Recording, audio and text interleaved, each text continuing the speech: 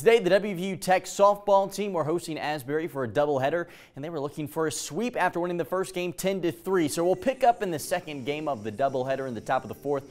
The Golden Bears leading 1-0 when pitcher Karina Atanasio went to work with a two strikeout inning and in good fashion at that, making two backwards Ks for the junior from Delaware who would finish the day with four strikeouts. And that would give the Golden Bears some momentum in the bottom of the fourth. Sierra Jimenez got a hold of one, a fly ball out to right for a double to put herself in scoring position. And then it was Kennedy Batchelor who brought her in with a blooper into left for an RBI single as W Tech would take a 2-0 lead and hold on to sweep the doubleheader by the same margin. The Golden Bears baseball team, they were also in action today, finishing their series against IU Southeast at Linda K. Epling Stadium after splitting games yesterday. Today was the rubber match, and it was a tough day for the Golden Bears as Chase Adams and the rest of the IU Southeast pitching staff allowed just three hits in this one. We'll pick up at the top of the seventh here. Grenadiers ahead 3-0 when the Bats came alive. Tyler Mills with the double out to right field, and then John Ullum followed that up with an extra base hit of his own